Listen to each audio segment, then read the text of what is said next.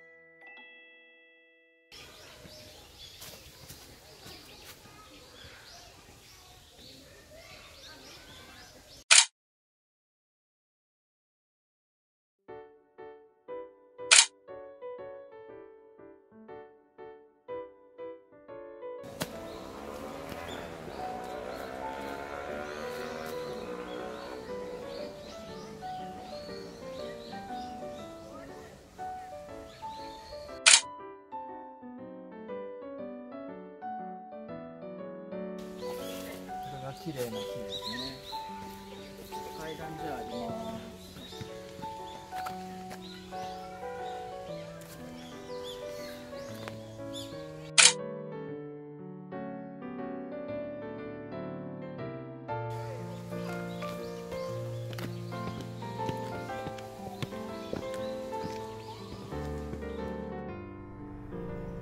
はい、いかがでしたでしょうか？今回は生田緑地ですね。で、日本民家園っていうところに行ってきました。まあ、こう、車で見ても、まだちょっと紅葉早い。まあ、ただもう12月入ってるんですけどね。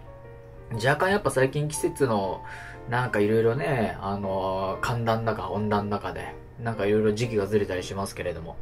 まあでも晴れたのはすごく良かった。でもこれでもまだね、2時台なんですよ。もう太陽がすごく傾いていたんで、まあ、実際撮影はほぼほぼもう日が傾いて結構暗かったんで、まあ、ISO、えー、シャッタースピード、ら辺のバランスをうまく、まあ、撮りながら撮影しないといけないという感じでしたかね。はい。で、動画はですね、Galaxy Note 8で撮ってもらっております。前回の概要欄に貼ってありますけど、えっ、ー、と、田園調布編は TX1 ですね、Lumix TX1 で撮ってもらっていたんで、前回の方が綺麗だと思います。ただ、オスモポケット、オズモ、オスモ、どっちなんだろう。オスモポケットが届くので、えー、届いたらそれで、えっ、ー、と、撮ってもらうから、より今後は、えっ、ー、と、まあ、写真で GO は見やすくなるんじゃないのかなというふうに思っております。なんか到着楽しみですね。そしたらこの吉丸の写真で GO と別に吉丸のお散歩とか、吉丸散歩とかやってみようかなとか思いますので、まあ、オスモポケットのレビューを楽しみにされている方は、お、オズモかオスモかな どっちなんだろうね。オスモポケットで僕一応読みますけど、オスモポケットが届いたら、まあ、吉丸写真とか別でまたやろうかなとか思っているんで、まあ結構こういった動画コンテンツ的なところはやっていこうかなと。まあ、オスモポケットも届いたらレビューとかやりたいので、まあ、それはさすがにレビューのプロがいっぱい YouTube にはいますから、そちらを見ていただければいいと思うんですけど、まあ、その撮り方とか、まあ、そういった意味では結構個性はそれぞれ出ると思いますので、まあ、その辺も楽しみにしていただけたらなというふうに思います。で、まあ、ご覧の通りというか、まあ、僕はメイン機が、えっ、ー、と、今は FZ1000 なんですよ。パナソニックの。で、これ1型センサーなのね。まあ今後僕はずっとこのカメラで撮ろうと思っていて、まあなぜかというと最近はまあフルサイズが結構主流というか、まあ手に入りやすくなってきたじゃないですか。まあ、圧倒的にソニーさんの α7 シリーズというか、あれがもう、あの、ずっと周囲立っていたんだけど、まあ、キャノンさんの EOSR が出たりとか、まあ、ニコンさんも Z7 とかね、で Z6 だっけ ?7。まあ、あの辺が出て、えー、まあ、フルサイズ機もだんだん競争率が高まってきた。まあ、ただ、僕の中ではね、フルサイズいらないんですよ、全然。まあ、1日でも十分にあの写真撮れると思っているので、まあ、皆さんはね、APS-C とかもっとセンサーの大きいもので撮影されているとは思います。なので、あえて、もう、あの、一番、僕がここで使えるなっていう範囲はやっぱ1型以上なので、まあ、1型センサーで、とりあえず綺麗な写真を撮るっていうことをモットーに、えー、吉丸の写真で5はやっていこうと思います。まあ、そのうちね、まあ、いろいろカメラまた新しく買ったらレビューもしつつ、それで写真で5やろうと思いますけど、基本的に、あの、写真で GO ではそうですね、今とか FZ1000 でいいやって、まあ、要は1インチでここまで撮れるだよっていうのを、まあ、見せたいっていうのもあるし、そのカメラなんて、その、結局センサーサイズがじゃあでかければいい写真が絶対撮れるかというと、僕はそういう考えではないので、あの、上手い人はもう多分何のカメラで撮っても多分うまく撮れると思うんですよ。まあ、そんな感じですかね。まあ、その辺も楽しんでいただけたらとは思いますけど、FZ1000 ちなみに古いから、まあ今は中古だったら5万ぐらいで手に入るのかな？うん、そんなに、あの、高いカメラではない。まあ当時は、まあ僕出て速攻買ったから、まあ、10万までもしなかったと思うな。8万とかじゃない ?8 万とか9万高だと思いますけどね。はい。で、えっと、今回は、えっと、その1なんですけど、多分その3ぐらいまではやるかな。はい。えっと、まず、これは出だしです。出だしでも結構でも紅葉の写真は撮れたかなと思ってます。はい。で、第2で、え、っと、もう少し奥に行きます。で、そこになると結構木が綺麗なところがあって、割と、あの、いい雰囲気の写真がこれが撮れていると思います。で、ラストに、えっ、と、民家園って言ってて、結構この日本の古風な建物も一緒に撮ってあるので、だいたいその3パートに分けていこうかな。で、もしかしたら4パート目にまとめというか、一応写真の解説入れていくかもしれないんですけど、まあ、それは、あの、興味がある人だけ見てもらえればいいかなというふうに思っております。はい。では今回は、えっ、ー、と、生田緑地ですね。えー、川崎市です。まあ、うちから近い、あ、川崎市かな？川崎市？うんと、ちょっと待ってくださいね。あ、一応、うん、川崎市多摩区ですね。日本民家園。ここは、いろいろあるんですよ、生田緑地って。まあ、あの、ドラえもんの、ドラえもん、えっと、なんだっけ、ドラえもんミュージアムだっけ？あれも近くにありますし、あと、あの、プラネタリウムとかも確かあるのかな。